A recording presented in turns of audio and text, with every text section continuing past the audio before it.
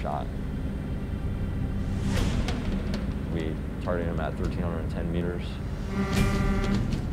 The target is at 1,310 meters, the equivalent of over 14 football fields.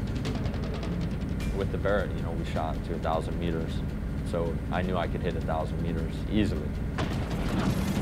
I had no data for 1,310 meters. I only had to 1,000 meters. So here, we're in uncharted territory.